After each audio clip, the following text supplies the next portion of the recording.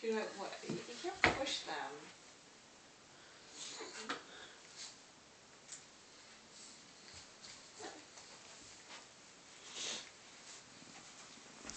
You're not supposed to push things.